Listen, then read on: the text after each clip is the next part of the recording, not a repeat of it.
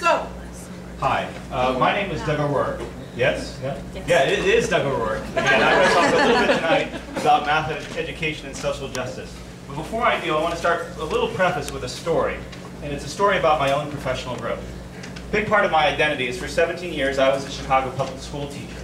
I taught in every kind of Chicago public school. I started a charter school, I worked in a neighborhood school, I worked in a magnet school, I even spent a year in a private school before I started graduate school. Once a CPS principal called me in her office on Friday to say I'd be working at a different school on Monday, so I've had the full CPS experience. at the same time, like you, I'm a member of MMC, ICTM, NCTM. I've ran a math league, I've written math contest con uh, questions. You know, I like CAS, I like Sketchpad. Uh, I like George Polya a lot. So a big part of my identity is that as well. But now I direct a teacher training program at the University of Chicago. I'm training, training, sorry Steve, you screwed this part up for me, math and science teachers to teach in Chicago public schools. But I started this way just to say that my heart is still, I'm a high school math teacher. Okay? There are three things I want to talk about for uh, uh, when it concerns math and, and, and uh, social justice. What I'm more unsure about, what I'm less unsure about, and then I'm going to make a few suggestions. Okay? Uh, the more unsure part.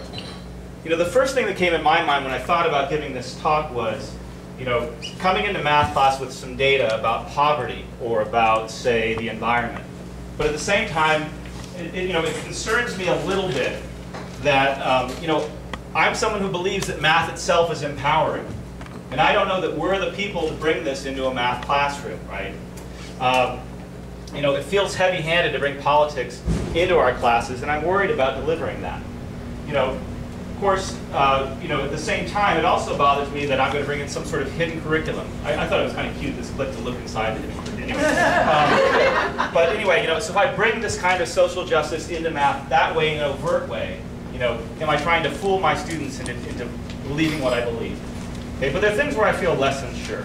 I do have some strongly held beliefs that I want to share with you. And so, you know, places where I think we as math educators can contribute to the social justice in our society. So I'm going to start with a national issue, and then I'm going to come to your classrooms. You know, the biggest political issue that we face as teachers is the oncoming advent of national standards. Um, high stakes tests. This, this report will tell you that the more you review for high stakes tests, the less math kids will learn. What I'm worried about is that right now I'm going to conferences and people are really excited about the standards for mathematical practice, but I'm worried that it's going to be outweighed by the standards for mathematical content. And what that's going to mean is the kids that are behind, that's all they're going to get. Okay?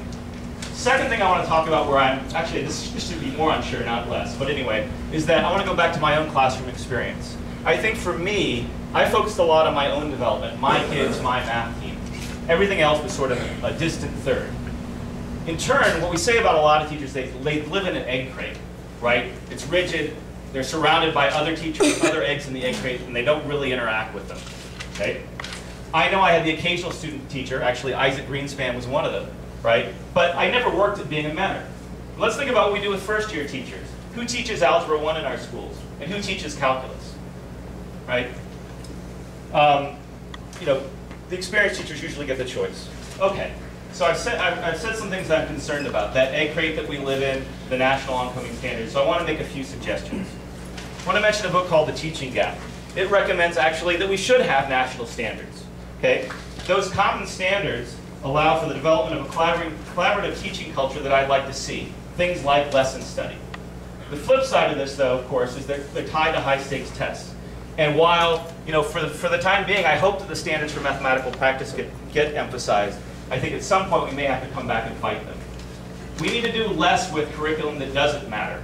And we need to offer authentic performance tests where kids have the opportunity to bring data from their own lives into the classroom. That's my solution to, I'm not going to bring the politics in, but I'm going to leave space for my kids to do it through the applications we do.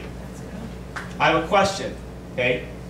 Ninth graders, you know what corresponds to, the, the to them the greatest likelihood that they're being admitted to college? Their ninth grade grades. Go back to Algebra 1. Maybe it's time to stop saying who's qualified to teach calculus and say who's qualified to teach Algebra 1. Okay? It's time for me to start, time for all of us to stop being just a cooperating teacher, but being a clinical instructor. Someone that learns how to be a great mentor to new teachers and works at it. Those that are experienced are the best teachers here, that needs to be part of our job. Okay? So, in summary, okay, fight for collaboration, let your kids make the math in your class relevant, teach Algebra 1, and learn how to be a great mentor. Maybe, I'm, maybe there's less maybe, maybe I'm more sure. Thank you.